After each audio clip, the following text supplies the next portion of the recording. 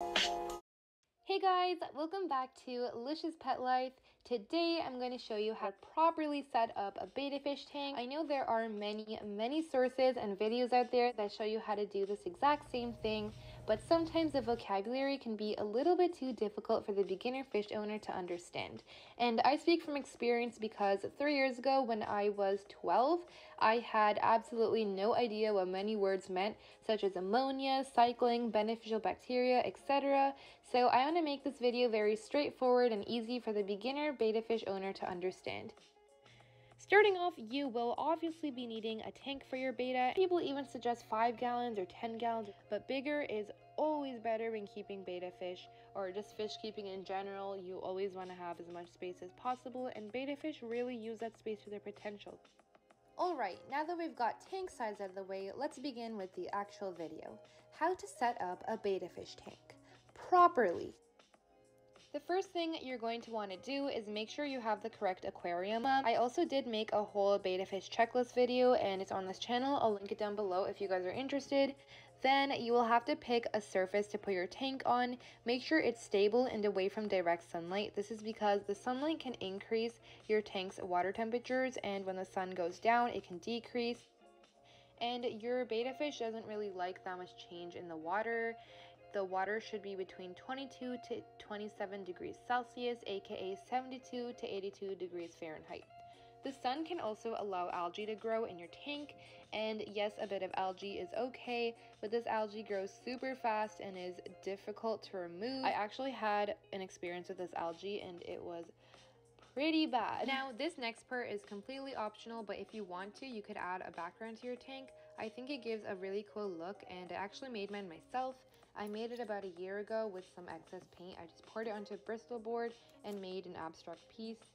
Um, pet stores also sell this, so you could either make yours yourself or you could buy it from a pet store. When you do this, just make sure your background is facing the front of your tank. Okay, once you've put your aquarium in place, you're going to want to fill it up with substrate. You could either use sand or gravel. I'm using this natural gravel here by Marina. If your substrate is brand new, you're going to want to rinse it out because there is dust and dirt in it. Now you could either add water to the bag and rinse it out or you could pour your substrate into a container like I did. Now you're going to want to rinse it out about 10 times. I did it 8 to 9 times.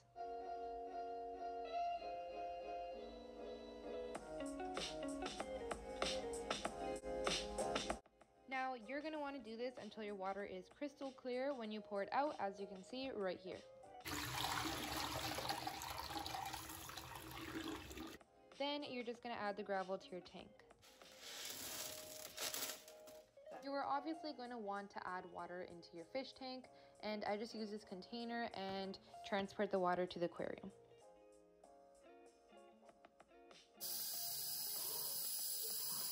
And again, you're just going to pour the water into your tank.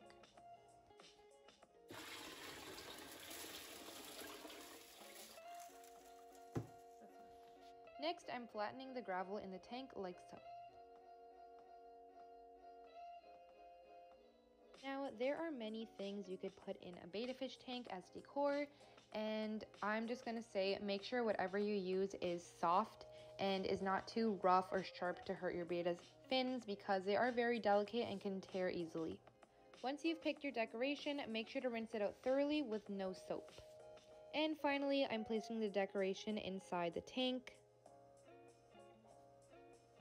Now, obviously, you could make adjustments as you go, and you could also add live plants in this. I just don't have any live plants at the moment in this tank. You're going to want to add some dechlorinator in your tank now if you have used tap water. I use tap water, so this makes it safe for betta fish to swim in. And also make sure to add the correct dosage. Each bottle has a different one. Next, you're going to add a filter to your betta fish tank. I think it's crucial to have one in your tank to allow them to live the best life possible. When it comes to filters, you want to pick something that doesn't have too much of a fast flow because betta fish don't like to swim against fast flow. I'm using the filter that came with my top fin tank and I think it works really well for this case. I have attached the filter to my tank and now I'm going to add a filter cartridge. The filter cartridge is basically just a little pouch that sits in your filter and collects all the beneficial bacteria. Again, beneficial bacteria is really important in your fish tank, and this is good bacteria that helps your fish survive. Alright, so where does beneficial bacteria come from? How does it work? Let me explain. Beneficial bacteria is good bacteria that lives on surfaces of your tank, including gravel, plants, decor, the walls, as well as the filter, which is why there's a cartridge in the filter to collect the bacteria. When fish waste is left in a tank, it produces ammonia. Ammonia comes from fish waste and is not good for your fish. The beneficial bacteria breaks down the ammonia, which is why it's a benefit to your tank. The ammonia can actually take over your tank at some point and kill your fish, which is why we want to get rid of it. This good bacteria can be grown by feeding your fishless tank at least three times a week with fish food. You can also use a filter cartridge from another aquarium of yours or even a friend's. That's what I'm doing in this case. And I will be doing a video on the whole ammonia and beneficial bacteria topic sometime later, just not now. The final things you might want to add to your tank are a thermometer and a heater. I don't have a thermometer to show you guys.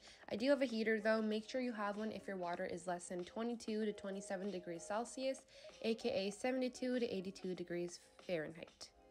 When adding a betta to a tank, you want to make sure that the temperature of their cup water and tank water is the same. So you're going to acclimate them and this means you just float them in the water until the temperature matches. You're going to do this for about half an hour to an hour, just until the temperature seems to be the same. Once you've acclimated your fish, you can finally release them and enjoy your betta.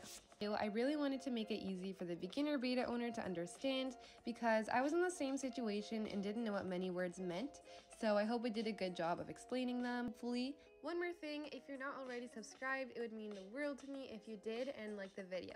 Thank you so much for all your support. Bye guys!